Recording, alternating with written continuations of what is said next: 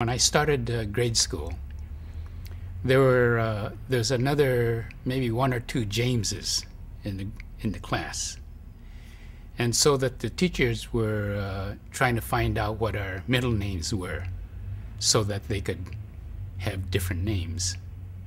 And my mother insisted that since we're in America, that they use my English name. And uh, so I was known as James, but in my later years in grade school, all my Caucasian friends, uh, who some of my Nisei friends, they uh, started calling me uh, Herbie for Hirabayashi. Oh, I see.